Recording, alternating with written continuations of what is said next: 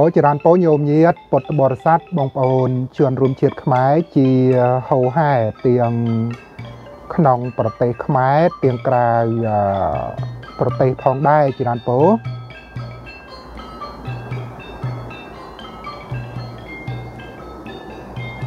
ពោអង្គខ្ញុំប្រកាសណាអាត្មាភាពលួនសវ៉ាតចរានពោដែលបាន ខិតខំសង្វាតក្នុងកិច្ចការកសាង សមិទ្ធផលផ្សេងផ្សេងនៅក្នុងទីអារាមវត្តស្លែងឃុំជាក្រែងស្រុកជាក្រែងខេត្តសៀមរាប ដែលជាវត្តអង្គខ្ញុំបកាណាអាត្មាភាពប៊ូរៀនគួងនៅភូមិកំណើតស្រុកកំណើតកើតជានៅទីនោះ ហើយជាវត្តក្រីក្រខ្វះខាតជាដានពូននៅអឺកត់ ពោសម្រាប់ប្រសងគួងនៅឥឡូវគឺកំពុងដំណើរការកសាងកត់ហើយនឹងសាលារៀនពោប្រសងវត្តស្លែងឃុំជាក្រែងស្រុកជាក្រែងខេត្តសៀមរាបដែលមានកម្ពស់2ជឿនក៏ប៉ុន្តែមិនទាន់បានរួចរឿលណាស្រេចបាច់ស្រួលបួលជាស្ថាពរទេគឺនៅខ្វះខាតច្រើនពោនៅខ្វះខាតនៅគ្រឿងសំណង់ ដូចជាអិតថ្មដែកណាក្បាច់ក្បូរផ្សេងផ្សេងច្រើនពោហ្នឹងហើយហើយឥឡូវជាងកំពុងតែបិទក្បាច់ពោបិទក្បាច់ជាន់ទី2ហើយនឹងក្រាលការ៉ូពោដាក់ទ្វាដាក់បង្អួចដាក់ជើងទៀនច្រើនពូនអឺហើយខ្មាភាពលួនសវ៉ាតក៏សូមសម្ដែងថ្លែងអំណរអគុណណាអឺ នឹងជូនបនជូនកុសលបានដល់ញោមឧបាសិកាប៉ាងសាមតហៅសេងងោបងប៉ាងសមុទ្រហៅសេងងោព្រមទាំងកូនស្រីប៉ាងស៊ីលៀបណានៅ Fresno ព្រោះនៅ Fresno រដ្ឋ California សហរដ្ឋអាមេរិក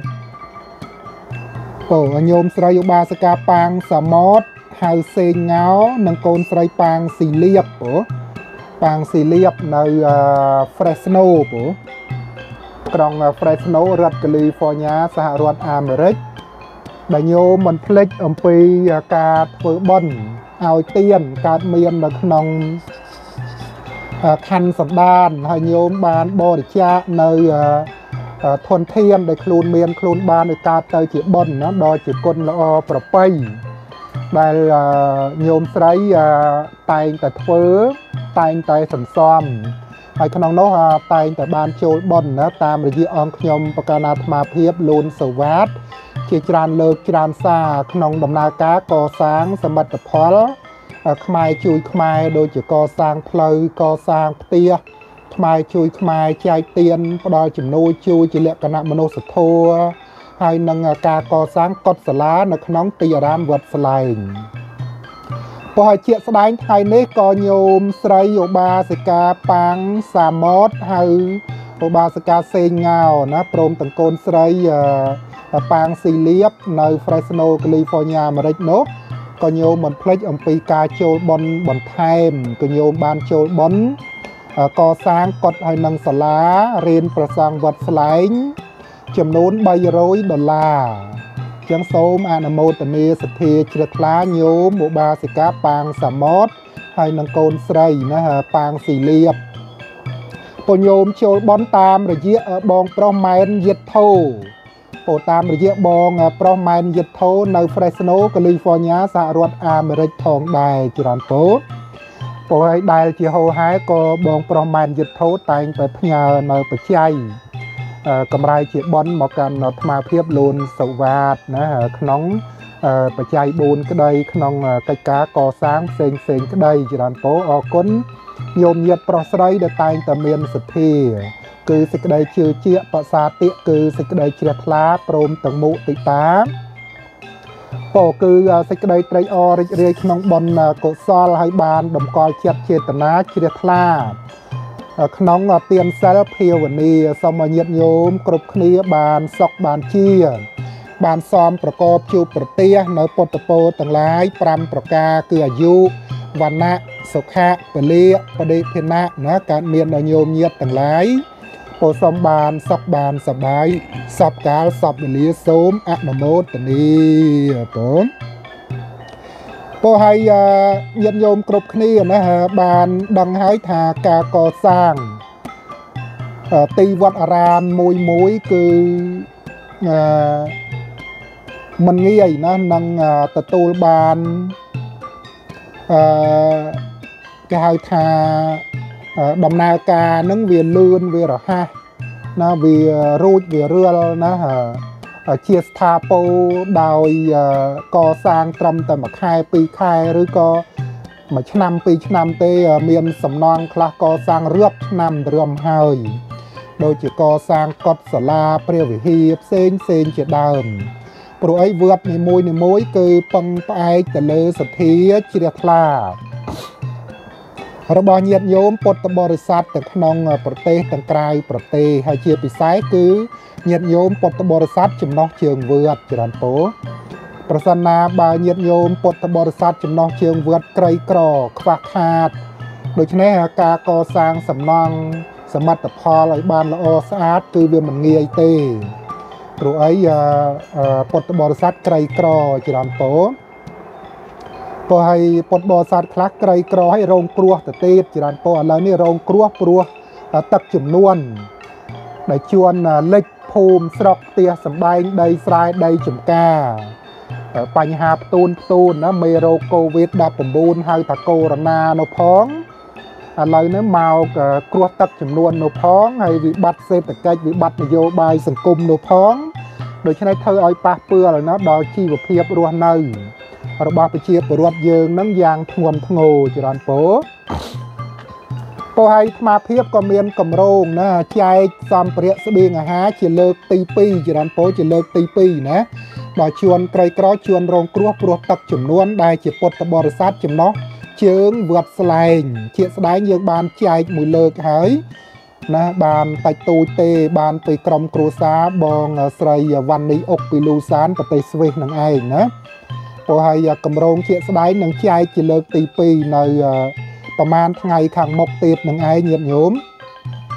ព្រោះឲ្យសូមអំពាវនាវបនិបាតញាតិញោមណាសូមញាតិញោមចូលរួមតាមសទ្ធាជ្រះថ្លាផងហើយកាលពីថ្ងៃមុនក៏អរគុណដែលញាតិញោមបានចូលបន់ណាក្នុងនោះមានបងប្រុសបងប្រុសភៀបណាពីម៉ុងរ៉េអាល់ប្រទេសកាណាដា ហើយញាតិញោមពីប្រទេសបារាំងហើយក្នុងនោះហើយញោមមកបាសិកាហេងហ៊ុយខេងណាពីបូឈុំវត្តទាំងឆែតប្រទេសអាល្លឺម៉ង់ក៏ញោមមានចិត្តស្អាតផូផង់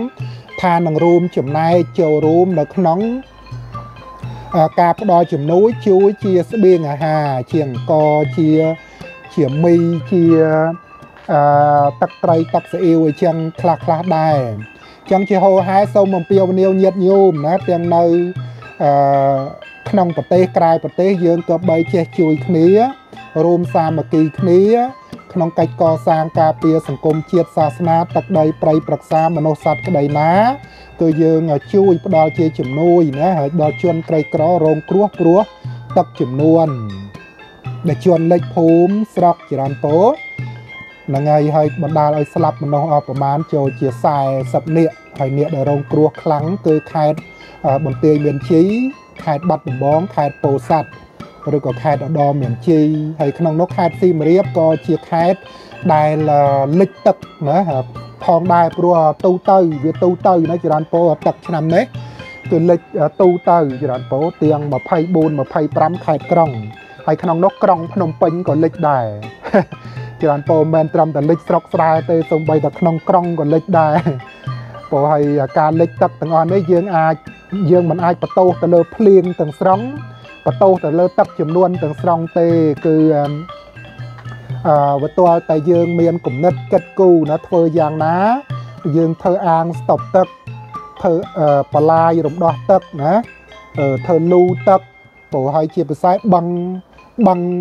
អាងស្តុបទឹកឬក៏បឹងធម្មជាតិនានាយើងត្រូវការពារថែរក្សាកុំឲ្យបាត់បង់ច្រើនពោ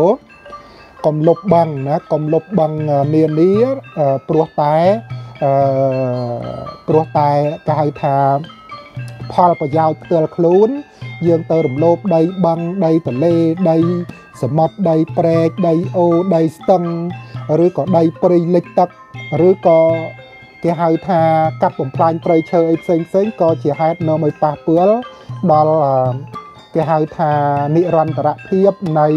បរិស្ថាននិរន្តរភាពនៃសម្បត្តិធនធានធម្មជាតិដូច្នេះធ្វើឲ្យធម្មជាតិនឹងមានការប្រែប្រួលញាតិញោមពួកយើងបំផ្លាញធម្មជាតិដូច្នេះធម្មជាតិនឹងអាចបំផ្លាញយើងវិញអញ្ចឹងហើយបានវាអាចកើតទៅជាគ្រោះទឹកចំនួនជួនលិចទាំងក្រង់ទាំងស្រែច្រើនពោពោចឹងសូមចម្រើនពោជាហោហាយញាតិញោមបើមានសទ្ធាក្នុងគម្រោងមនុស្សធម៌ខ្មែរជួយខ្មែរគឺនៅសល់4 5ថ្ងៃខាងមុខទៀត អាត្មានឹងចែកជូនណាអឺសម្ភារៈជាស្បៀងអាហារជាអង្គជាមីក៏ជាទឹកត្រីទឹកស្អ៊ីវបាច់ទូទៅតាមលទ្ធភាពដែលយើងអាចជួយបានញាតិញោមមកយើងមិនចាំបាច់ទៅតើតែយើងមានលុយច្រើនណាបានធ្វើបន់បានមិនមែនទេទោះបីជាមកកាក់ម៉ាស៊ីន100មួយរៀលក៏យើងអាចធ្វើបានហើយសូម្បីតែជួនបរទេសដូចយើងឃើញ USAID សហរដ្ឋអាមេរិក ក៏គេបានផ្ដល់ជំនួយជួយជាលក្ខណៈមនុស្សធម៌ខ្មែរជួយបរទេសជួយខ្មែរណាបរទេសជួយខ្មែរក្នុងគ្រាមានទុកអសន្នអន់ក្រគឺគ្រោះទឹកចំនួនផងដែរតើអញ្ចឹងខ្មែរយើងក៏ត្រូវចេះជួយខ្មែរដែរញាតិញោមទៅបីតិចក្តីច្រើនក្តីណាពោហើយយើងធ្វើបន់ណាសង្កហធัวឬក៏សង្កហទានច្រើនពោក៏ឲ្យក្នុងនោះរដ្ឋាភិបាលក៏ត្រូវចំណាយណា នៅថវិការដ្ឋថវិការាជពោផ្សេងផ្សេងដើម្បីជួយណាដល់គ្រោះមហន្តរាយនៃទឹកចំនួនគឺក៏បីជួយឲ្យបានរស់រានទាន់ពេលវេលាហើយកុំប្រកាន់និន្នាការបពពុច្រើនពោហ្នឹងហើយកុំរើសអើងណាបពពុពឿសម្បុរអីគឺយើងជាខ្មែរគឺត្រូវតែចេះជួយខ្មែរចេះស្រឡាញ់ខ្មែរចេះអឺធ្វើអ្វីអ្វីដើម្បីផលប្រយោជន៍ខ្មែរច្រើនពោ ពោជាងអរគុណជាហោហែថ្ងៃនេះប្រហែល27ណាតុលា2020អរគុណញោមស្រីឧបាសិកាប៉ាងសាម៉តឧបាសិកាប៉ាងសាម៉តហៅសេងងោព្រមទាំងកូនស្រីប៉ាងស៊ីលៀបពោនៅ Fresno ណា California សហរដ្ឋអាមេរិកពោដែលញោមមិនភ្លេចអំពីការធ្វើបុណ្យផ្ដល់ជំនួយជួយជាលក្ខណៈមនុស្សធម៌ផ្សេងផ្សេងក្តី ធ្វើបន់កសាង សមិទ្ធផលដំកល់ទុកក្នុងប្រទេសកម្ពុជានានាដូចជាអង្គខ្ញុំព្រះករណាអាត្មាភាពបានធ្វើជាហោហែកន្លងមកហើយគឺលទ្ធផល យើងបានផ្ដល់ជូនណាជាចំណែកជាចំនួនណាបានចំណេញទៅដល់ប្រទេសកម្ពុជាយើង ដូចជាការកសាងផ្លូវថ្នល់ព្រោះឥឡូវនេះគឺយើងឃើញហើយដោយសារគ្រោះទឹកចំនួនសំបីតែផ្លូវខ្មែរជួយខ្មែរដែលអង្គខ្ញុំ ប្រការណាអាត្មាភាពបានកសាងជាហោហែក៏លិចទឹកដែរច្រើនពោវាលិចទូទៅច្រើនពោមិនថាផ្លូវជាតិមិនថាផ្លូវលំមិនថាអីទេព្រោះទឹកស្ទឹងជាក្រែងវាខែប្រាំងវាហូតហែងហូតហែងកសិករក្រីក្រឬក៏ប្រជាពលរដ្ឋដែលរស់នៅតាមបណ្ដោយស្ទឹងហ្នឹងខ្វះទឹកខ្វះទឹកធ្វើស្រែធ្វើចំការស្រោចដំណាំដាំដុះឬក៏ប្រើប្រាស់ក្នុងការរស់នៅប្រចាំថ្ងៃ គឺខ្វះទឹកច្រើនពោអញ្ចឹងហើយបានជាអាត្មាតែងដំពាវនាវញាតិញោមធ្វើបន់ខ្មែរជួយខ្មែរដូចជាកសាងជីកស្រះទឹកដងទឹកច្រើនពោផ្សេងផ្សេងនោះច្រើនពោទៅខែប្រាំងវាខ្វះទឹកដល់ខែវស្សាជាវាទៅជាលិចទឹកច្រើនពោលិចទឹកស្ទឹងជាក្រែងគឺឥឡូវនេះគឺទឹកពេញព្រៀបលិចលួងអ្នកដែលរស់នៅតាមបណ្ដោយដងស្ទឹងហ្នឹងគឺលិចត្រឹមចកេះខ្លះលិចផ្ទះខ្លះពោ ហ្នឹងហើយអញ្ចឹងយើងក៏បីចេះជួយគ្នាក្នុងគ្រាមានទុកអសន្នអន់ភ័យញាតិញោមហើយដំណើរការកសាងសមិទ្ធផលខ្មែរជួយខ្មែរដូចជាផ្លូវខ្មែរជួយខ្មែរយើងមិនទាន់ចាក់គ្រោះក្រហមរួចរាល់ទេបើញាតិញោមមានសទ្ធាជ្រះថ្លាក៏សូមអនុមោទនាផងដែរញាតិញោមព្រោះការកសាងផ្លូវនាំមកនៅសេចក្តីសុខចម្រើនណាបានបុណ្យកុសលមគ្គផលទាំងយប់ទាំងថ្ងៃច្រើនពោទាំងយប់ទាំងថ្ងៃ ពោហើយនឹងការកសាងផ្ទះខ្មែរជួយខ្មែរជូនបងប្រុសអាត្មាភាពលូនសវ៉ាតបង្កើតដែលក្រីក្រខ្វះខាតហើយរងគ្រោះព្រោះបញ្ហាសង្គមបញ្ហាការរំលោភសិទ្ធិមនុស្សសិទ្ធិលំនៅឋានដីធ្លីញោមញីដោយអំពើហិង្សាការបាញ់ប្រហារផ្សេងផ្សេងណាហើយជាក់ស្ដែងយើងកំពុងតែដំណើរការកសាងហើយនៅខ្វះខាតសម្ភារៈដូចជាឈើដូចជាបង្អួចទ្វារ ពោផ្សេងផ្សេងជាច្រើនទៀតសូមអំពាវនាវញាតិញោមផងដែរពោហើយដំណើរការចាក់គ្រូក្រហមគឺ1ឡាន45ដុល្លារក៏នៅត្រូវការនៅខ្វះខាតហើយក្នុងនោះដំណើរការកសាងកុដិហើយនិងសាលាក្នុងទីអារាមវត្តស្លែងជាក់ស្ដែងក៏នៅខ្វះខាតច្រើនច្រើនពោពោនៅខ្វះខាតច្រើនពោជួនលើយើងបានបិទក្បាច់បានបាំងបិទដបូលបានដាក់ ស្អីស្អីហើយក៏ប៉ុន្តែនៅឡើយគឺខ្វះខាត បង្អួចក៏មិនទាន់ញាតញោមចូលបនគ្រប់នៅឡើយបង្អួចមួយ300ដុល្លារហើយទ្វាអាទ្វាធំ600ណាដុល្លារហើយយើងនៅ2 3ទ្វាទៀតមិនទាន់គ្រប់ហើយការ៉ូក្នុងមួយកេះ15ដុល្លារយើងបានក្រាលការ៉ូជន់លើពេញហើយក៏ប៉ុន្តែញាតញោមចូលបនបានប្រហែលជា4 10កេះនឹងច្រើនពោហើយយើងចំណាយអស់ឡើង 2 300កេះណោច្រើនពោហើយមួយកេះ15ដុល្លារពោហើយជើងទៀនជើងទៀននោះអស់3 400ជើងទៀនជើងទៀនមួយដើមមក5ដុល្លារញាតិញោមក៏នៅខ្វះខាតនៅត្រូវការច្រើនព្រោះឥឡូវនេះយើងត្រូវជាវជើងទៀនគ្រុតថ្មីដាក់ជន់ក្រោមទៀតនោះគឺអស់ខ្ទង់3000ដុល្លារទៀតច្រើនពោខ្ទង់3000ដុល្លារទៀតដើម្បីប្រើក្បាច់ ខាងជន់ក្រោមច្រើនពោឥឡូវជាងគេកំពុងតែបោះក្បាច់ហើយច្រើនពោហើយយើងបានកក់លុយគេខ្លះខ្លះហើយគឺយើងត្រូវដាក់ក្បាច់ជើងទេនណាបន្ថែមទៀតជួនក្រោមហើយនឹងដាក់ក្បាលនាគក្បាលនាគគឺសរុបទៅមាន4គូក្បាលនាគ4គូច្រើនពោហើយក្បាលនាគក្នុងមួយគូនេះចូលប្រហែលជា300ដុល្លារ300ដុល្លារអញ្ចឹងយើងត្រូវប្រើក្បាលនាគ4គូទៅទៀតណោះ ហើយជើងទៀនជើងទៀនខាងក្រោមនេះគឺថ្លៃញញោមក្នុងជើងទៀនមួយដើមរហូតដល់ចូលប្រហែលជា30ដុល្លារជើងទៀននោះណាពួកឯងជើងទៀនក្បាច់ក្រុតច្រើនពោជាលក្ខណៈក្រុតណាក្រុតដូចទីលានជួលដំរីញញញោមទីលានជួលដំរីនៅប្រាសាទអង្គរធំហ៎អាកន្លែងទីលានជួលដំរីនោះក្បាច់នោះឯងច្រើនពោក្បាច់អឺក្បាច់ក្រុតណាច្រើនពោជើងទៀនក្រុត ចឹងឯញាតិញោមបើមានសទ្ធាសូមអនុមោទនាពោក្បាលនាគពោក្នុងមួយគូ300ដុល្លារញាតិញោមយើងត្រូវការ4គូបើញាតិញោមមានសទ្ធាសូមអនុមោទនាចំណែកជើងទៀនអាមួយដើម5ដុល្លារនោះក៏នៅខ្វះខាតឥឡូវនេះយើងត្រូវជាវអាជើងទៀនមួយដើមរហូតដល់30ដុល្លារច្រើនពោថ្លៃលើសធម្មតាទេព្រោះអីវាវាក្បាច់គ្រប់ច្រើនពោ ហ្នឹងហើយហើយក្បាច់នោះយើងអត់មានពុំបោះខ្លួនយើងទេច្រើនពោយើងជាវពីជាងគេដែលគេជំនាញណាគេរកទទួលទានតាមរយៈវិស័យសិល្បៈចម្លាក់ផ្សេងផ្សេងនោះពីក្រុងសៀមរាបមកពីវត្តរាជបូច្រើនពោហើយគេក្បាច់គេវាស្អាតច្រើនពោគឺគេចេះច្បាស់លាស់ញាតិញោមដឹងស្រាប់ហើយទៅមើលវត្តរាជបូគឺវត្តរាជបូក្រុងសៀមរាបគឺក្បាច់គេស្អាតស្អាតណាស់ ការកសាងកុដកសាងសាលាអីផ្សេងផ្សេងណាពោចឹងសូមសម្ដែងថ្លែងអំណរអគុណណាជូនបនជូនកសលបានដល់ញោមឧបាសិកាងៅឧបាសិកាប៉ាងសាម៉តណាហៅសេងងៅព្រោះហៅសេងងៅហើយនៅកូនស្រីប៉ាងស៊ីលៀបព្រមទាំងគ្រួសារកូនចៅរស់នៅទីក្រុង Fresno ព្រោះ Fresno រដ្ឋ California សហរដ្ឋអាមេរិកព្រោះ ច្រើនពោញាតញោមនៅ Fresno ព្រោះញាតញោមតែងតែឧបត្ថម្ភគ្រប់ត្រូលនិងចូលបនណាខ្មែរជួយខ្មែរជាហោហែតាមរយៈបងប្រុសម៉ែនយិតធោតាមរយៈបងប្រុសម៉ែនយិតធោបានផ្ញើមកកាន់ខ្មែរថ្ងៃនេះ300ដុល្លារសម្រាប់កសាងកុដិនិងសាលាសូមជូនបនជូនកុសល បានដល់ញោមឧបាសិកាអឺសេងងោណាឬក៏ហៅថាឧបាសិកាប៉ាងសមុទ្រ ព្រមទាំងកូនស្រីប៉ាងស៊ីលៀបព្រោះប៉ាងស៊ីលៀបព្រមទាំងកូនចៅប្រុសស្រីនៅ Fresno California អាមេរិកហើយបានចូលបន300ដុល្លារថ្ងៃនេះពោឲ្យសូមពាវនាវញាតិញោមចូលបនជួយសង្គ្រោះបន្ទាន់ណាក្នុងភាពក្រីក្រភាពរងគ្រោះព្រោះទឹកចំនួនពុទ្ធមានឹងចែកស្បៀងអាហារបានតិចចែកតិចទៅបានច្រើនចែកច្រើនទៅជាអង្គណាអង្គមួយតោនឡើងដល់450ដុល្លារញាតិញោម ហើយកាលពីឆ្នាំទៅថ្មជាវតែមួយតោនតែ400ដុល្លារ410ដុល្លារហើយដល់ពេលឥឡូវដល់ពេល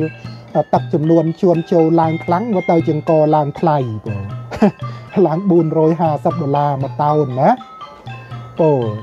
អញ្ចឹងសូមញាតិញោមមកចូលបនផងហើយឆ្នាំទៅយើងបានដល់15តោនណាញាតិញោមឆ្នាំទៅយើងបានចែកជួនក្រីក្រទាំងខុំលួងសណទាំងខុំជាត្រែងបានរហូតដល់15តោន ពេលឆ្នាំនេះញាតិញោមមកទៅចែកបានមួយតោនហ្នឹងដោយសារអីដោយសារអាត្មាមិនបាននៅក្នុងប្រទេសកម្ពុជាក៏ប៉ុន្តែទោះជាយ៉ាងណាក៏យើងនៅតែតស៊ូណាការពីនៅអឺអំពើល្អរបស់យើង គឺខ្មែរជួយខ្មែរគឺនៅតែបន្តច្រើនពោទោះបីជាយ៉ាងណា គឺយើងជួយតិចក៏បានតិចក៏វាប្រសើរជាងមិនបានជួយអ្វីសោះមិនបានធ្វើអ្វីសោះណា ពួកយើងមិនដែលមានគំនិតគិតថាធ្វើបាបខ្មែរសម្រាប់ខ្មែរលួចប្លន់ខ្មែរណាចោតចាប់ខ្មែរគឺមិនដែលមានទេញាតិញោមមានតែជួយខ្មែរណាមានតែធ្វើបន់ជួយខ្មែរមិនដែលធ្វើបាបខ្មែរម្ដងណាទេពោចឹងអរគុណណាស់ញាតិញោមសំបានមៀកផលណាពោច្រើនពោនេះវាទស្សនភាពទេសភាពពីទឹកដីនៃវត្តស្វិសខេមរារាមខេត្តបែនប្រទេសស្វិសញាតិញោមរដូវស្លឹកឈើជ្រុះញាតិញោម ស្លឹកឈើជ្រុះវាជ្រុះមែនហ្នឹងឯងញាតិញោមឃើញហើយព្រោះអញ្ចឹង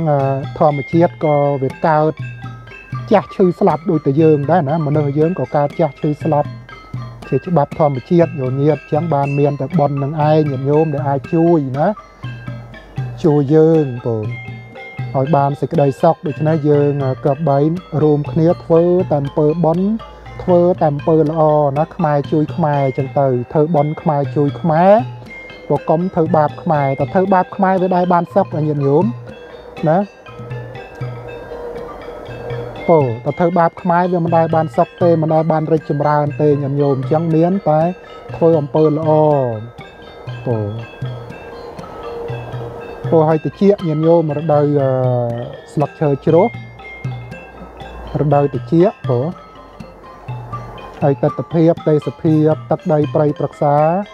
ពោបកសៃបកសាពីអឺវត្តស្វិសខេមរារាមខេត្តបែនប្រទេសស្វិសច្រើនពោនៅវាលស្មៅគោគោគេញៀមយកទឹកដោះហ្នឹងញោមព្រោះស្លឹកឈើវាចាប់ដើមទុំទុំជ្រុះចឹងវាឡើងពើញោមតែទៀតទៅវាដល់រដូវ winter រដូវធ្លាក់តកបង ពោយើងរួមគ្នាណាការពារសម្បត្តិធនធានធម្មជាតិនានាមានទឹកដីព្រៃឈើសត្វព្រៃស្ទឹងបឹងទន្លេ ប្រែកអូបលាយភ្នំសមុទ្រកោះផ្សេងផ្សេងឲ្យបានគួងវងតរៀងទៅញាតិញោមពោដើម្បីជាផ្លូវនាំមកនៅសេចក្តីសុខណាសេចក្តីចម្រើនពោសុខសន្តិភាពទាំងមនុស្ស សុខសន្តិសុខសន្តិភាពទាំងសត្វសុខសន្តិភាពទាំងសម្បត្តិធនធានធម្មជាតិទឹកដីព្រៃឈើញាតិញោមពោចឹងអរគុណញាតិញោមពុទ្ធបរិស័ទបងប្អូនជឿនរួមជាតិញោមញាតិដែលបានចូលបន់ថ្ងៃនេះណាហើយសូមញាតិញោមបន្តឧបត្ថម្ភគ្រប់គ្រងផ្ដល់ជំនួយជួយជាលក្ខណៈមនុស្សធម៌ខ្មែរជួយខ្មែរជាហោហែដែលអាត្មាត្រូវចែកជាស្បៀងអាហារណាចរន្តពោជាអង្គ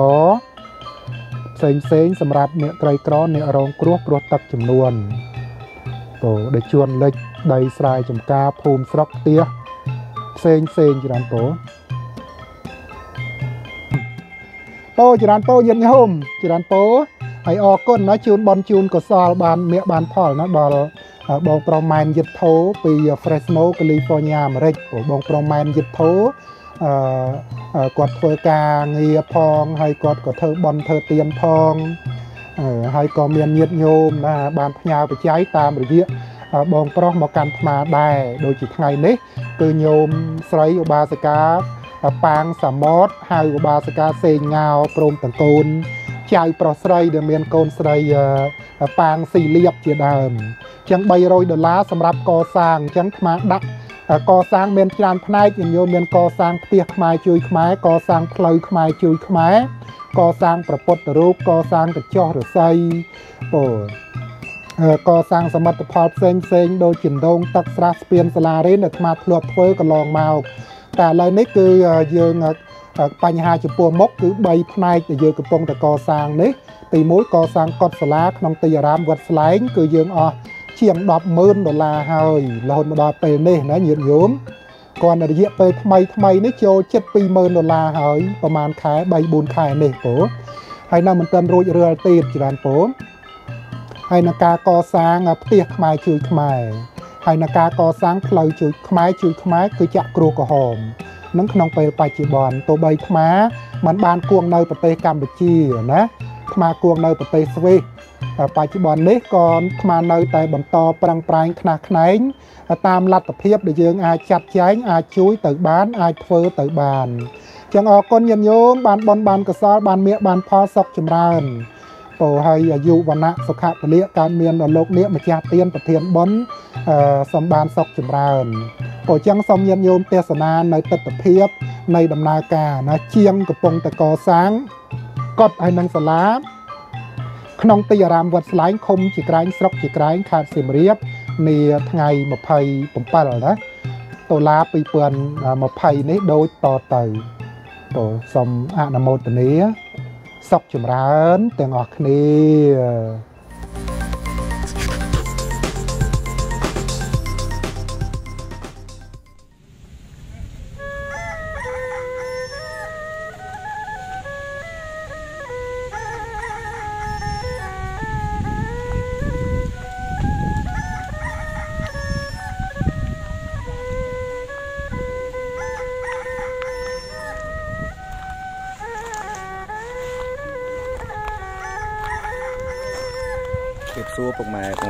ជនរួមជាតិទាំងក្នុងនិងក្រៅប្រទេសថ្ងៃនេះផងដែរថ្ងៃទី27ថ្ងៃទី27តុលា2020នេះជាទស្សនភាពសកម្មភាពជាងកំពុងតែនឹងគ្នាចាត់ចែងកម្លាំងដើម្បីកសាងសាលារៀនខ្មែរគឺខ្មែរដែលតម្កល់ទុកនៅក្នុងទីវត្តអារាមគឺវត្តស្លែងភូមិចក្រែងស្រុកចក្រែងខេត្តសៀមរាប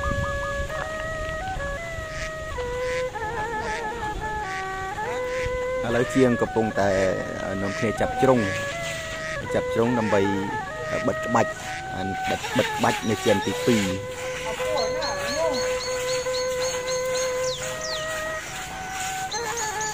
ក្នុងដំណើរការកសាងសាលារៀនខ្មែរជួយខ្មែរដែលរំកល់ទុកនៅក្នុង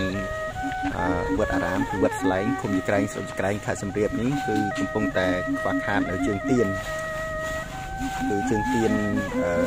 វេរងដាខាងមុខ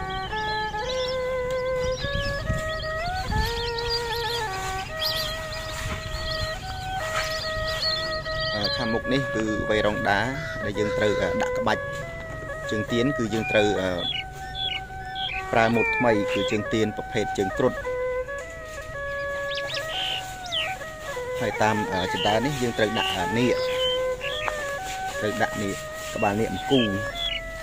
ជើងចដើមាន2ជើងខាងនេះមាន1ខាងកើតនេះមាន1ខាងលិចមាន1ចឹងក្នុងចដើមួយយើងត្រូវដាក់ក្បាលនាគ2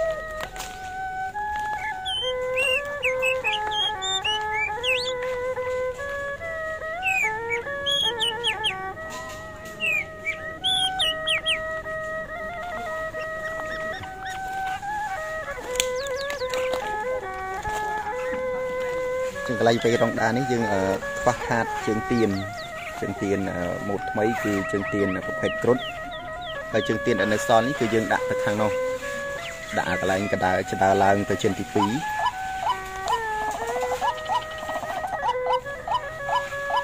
ឹងក៏សូមពៀវនាវដល់បងប្អូនសប្បុរសជនអឺបើសិនជាមានសទ្ធាមានសទ្ធាជាខ្លានៅជើងទៀនគឺជើងទៀន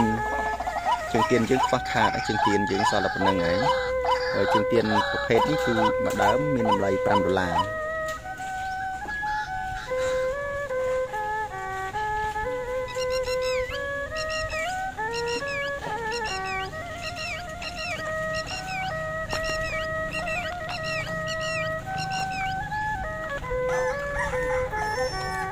នេះជាកម្មចដើរវេរងដាខាងលិចខាងលិចនេះយើងត្រូវដាក់ក្បាលនេះ2ដែរ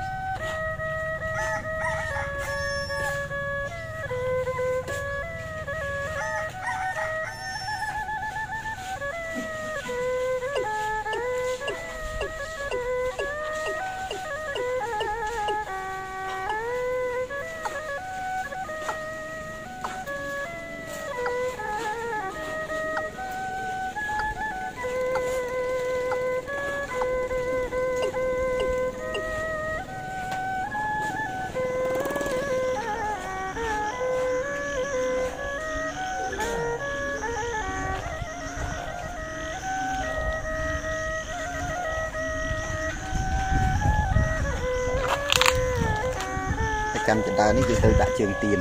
ជើងទៀនហើយដាក់ក្បាលញៀកដែរ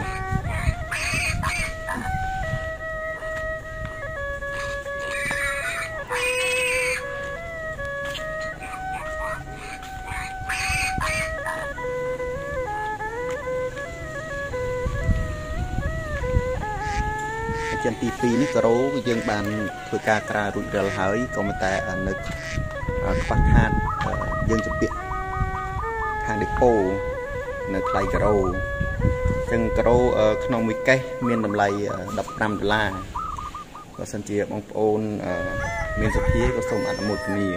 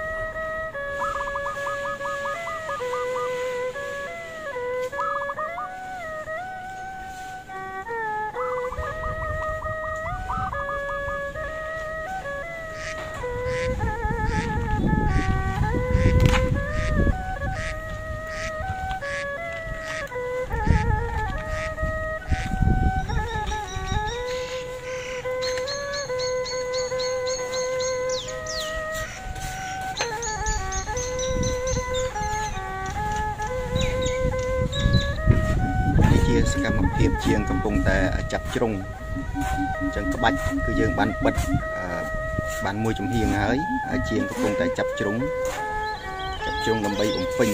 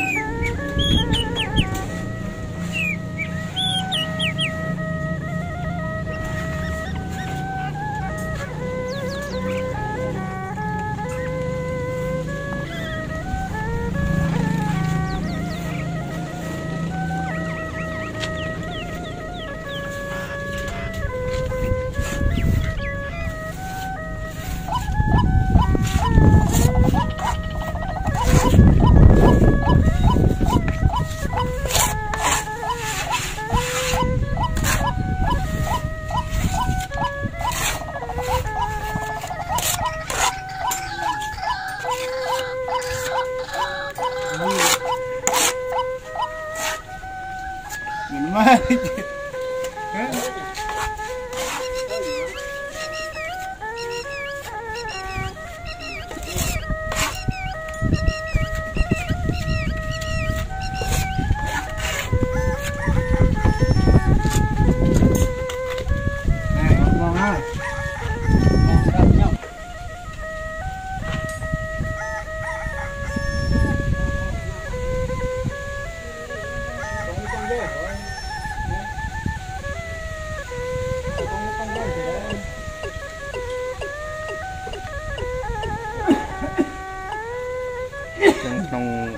ការកសាងសាលារៀនខ្មែរជួយខ្មែរដែលតម្កល់ទុកក្នុងទីអារាមវត្តស្លែង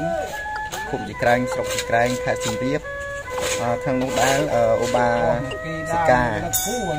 អូបាសិកាប៉ាងសមុទ្របាសិកាប៉ាងសមុទ្រហៅសេងងោនិងអ្នកស្រីប៉ាងស៊ីលៀបនិងគូសានៅទីក្រុងស្វីសណូរដ្ឋកាលីហ្វ័រញ៉ាសហរដ្ឋអាមេរិក គាត់ក៏មានសភាជាថ្លាជួលបនកសាងសង្កត់និងសាលារៀន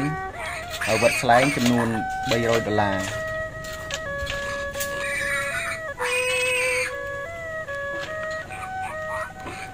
ហើយចិត្តចូលបនតាមរយៈអឺលោកម៉ែនយិតធូលោកម៉ែនយិតធូហើយខ្ញុំបាទក៏សូមសិទ្ធិពោជ័យកាត់មានដល់ឧបាសិកាប៉ាងសមុទ្រដែលរស់នៅ ទីក្រុងអឺស្វីសណូរដ្ឋកាលីហ្វ័រញ៉ាសហរដ្ឋអាមេរិកសូមឧបាសិកាទទួលបាននៅសេចក្តីសុខសេចក្តីចម្រើន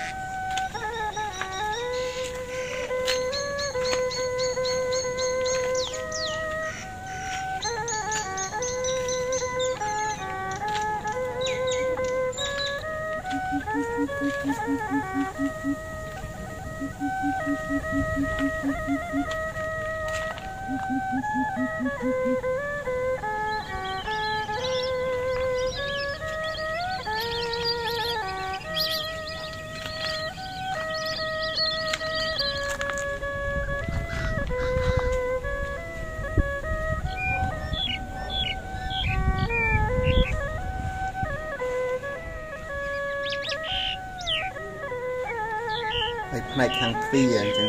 ខាងទ្វារយើងខ្វះខ្វះ4ទ្វារខ្វះទ្វារចូលក្នុងបន្ទប់នេះមួយបន្ទប់ខាងកើតនេះមួយ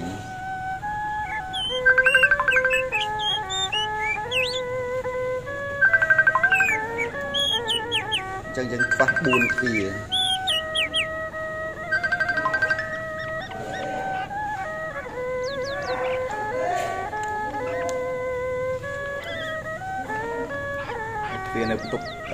បន្ទប់ទឹកចិនទី2នេះយើងខ្វះដែរ